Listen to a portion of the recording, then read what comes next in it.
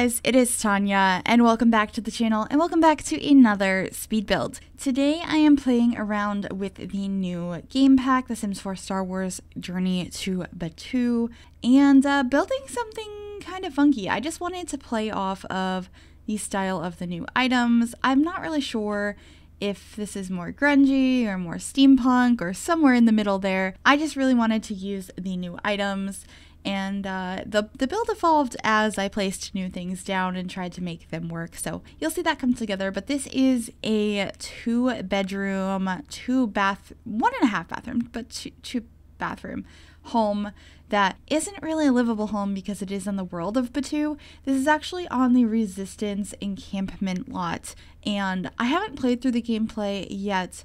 But based on what I observed just from this lot, there is a little door going into the rocks behind the lot that leads downstairs into an area that I assume is pretty essential for gameplay. So I did leave that. I just deleted all of the decorations and the tents up here on lands and I put a house here instead. So that way, you know, you don't have to stay in the tent you can stay in the house. And I just thought it would be a fun thing to do. And of course, I wanted to build in the new world because I feel like the items and objects we got with this pack just don't fit other places. You might be able to get it to fit occasionally, but I just thought for the purposes of doing a video of my first impressions and playing around with build mode, it'd be kind of nice to actually build on Batuu. So I will say, as soon as this pack was announced, I was very not happy about it. I was not interested, even when it was just speculated with the leak and everything. I was like, no, please, no, even though I really like Star Wars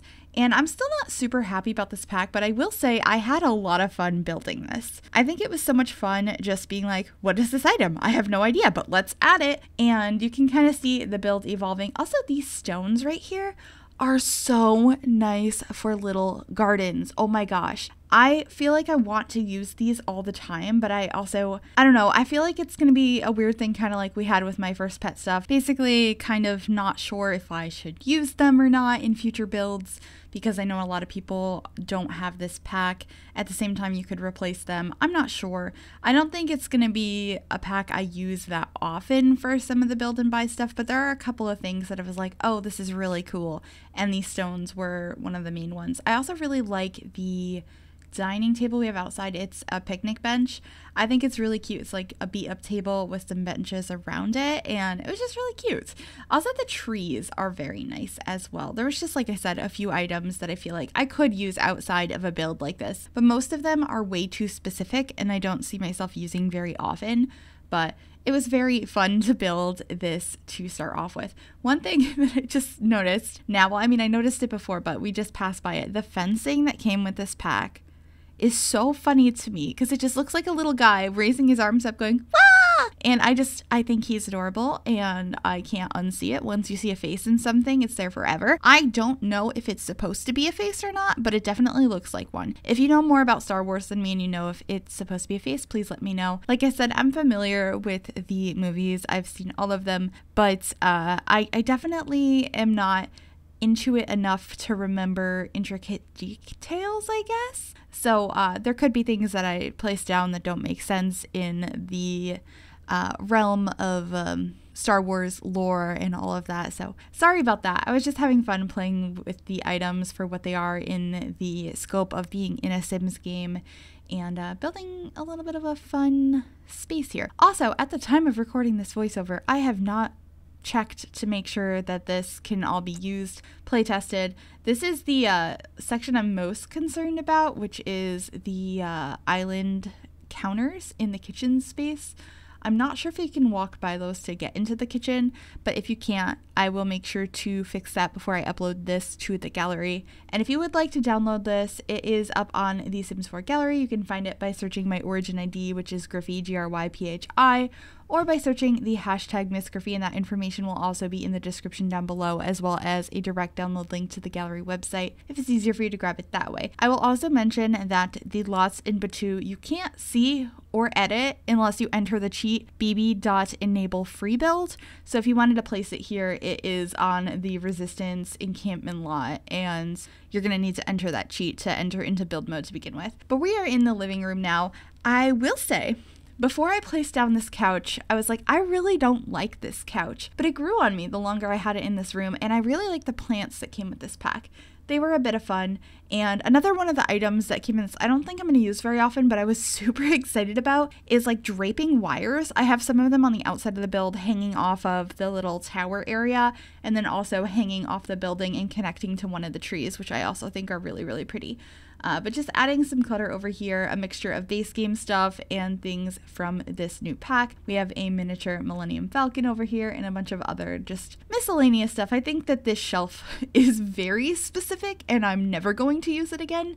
I, uh, it's a, it's a little unfortunate. There's just so, some items I'm like, oh, this is kind of cool. Maybe I can find another use for it. Even the windows, which I think are very specific and strange, are I think more likely to be used again than that shelving unit. It's just kind of strange. But anyway, in this bathroom, I changed my mind a couple times. I went from the talking toilet to the craftable toilet to using these ones from Eco Lifestyle. I don't really know the exact vibe I was going for because I was kind of going for, you know, grungy, lots of uh like brown tones, like what I think of Star Wars, but also with Star Wars you think of bright white and like lights and lightsabers and it's just a bunch of different stuff and i uh i pick and chose which areas had what. It was also difficult to decide what do i do for a fridge and a stove in this space because we didn't get any with the new pack. So i ended up going with the um it's kind of like a vending machine like freezer that you grab drinks from from spa day and then the most expensive stove because it looked the most futuristic. So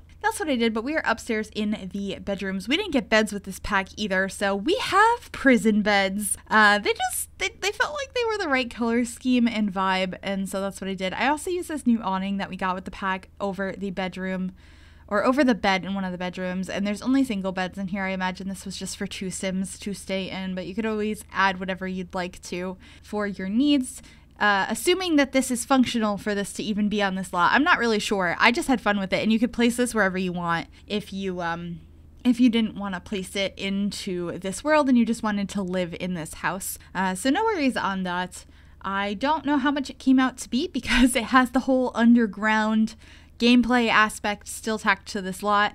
So that doesn't that's like incorrect because that that has nothing to do with this house. But I felt like I couldn't delete that because I didn't want to make it so you couldn't play the game. Hopefully, I didn't delete anything above ground that you needed. I don't think I did. It looked like it was just tents and trees and bushes and stuff. Uh, but I do have a droid in here, a mirror, a couple of chairs, and some flowers. And then I had a lot of fun making this custom bench area that connects into the bed in this particular bedroom. It was just a lot of experimenting overall, this whole build, seeing what I could make work and play around with the new items because it is such a different concept and a new thing to see in The Sims and uh, I think it came out all right. I really like that I added some stereos under that bench in that bathroom as well. Not in the bathroom, in the bedroom. We're in the bathroom now. Uh, and it's pretty much the same as the one downstairs, except this one has a shower in addition. And then we also have an upstairs, like, balcony area. It just has some seating, a grill, and I think some planters. And then there is a rooftop space as well which has, I think, a lounger and some planters. I kept it pretty simple. I didn't know what to put up here, so yeah, you guys can change that up if you'd like to. But we are coming to the end of the video here shortly. I do want to just say that, um, you know, since I'm pretty sure I'm going to get asked, I think this pack's interesting. I haven't played the gameplay, so I can't rate it overall. I haven't heard great things about it. I think the build and buy is fun and is something that you could probably make something cool with once. I'm not sure long term if it's something you're going to come back to or not. I think that depends on the individual person. But there are a couple of items that I really enjoy, mostly the garden stones and uh, some of the plants. Uh, but that's pretty much it for this video. I hope you guys liked it. Please let me know what you think down below. You can also give this video a big thumbs up if you liked it. I'd really appreciate that. It helps me out. You can subscribe to the channel if you haven't already. I'd love to have you join us. And if you click that bell, it'll turn on notifications so you'll be notified of every single time I upload a new video. Thank you guys so much for watching. I will see you all soon. Bye, everybody.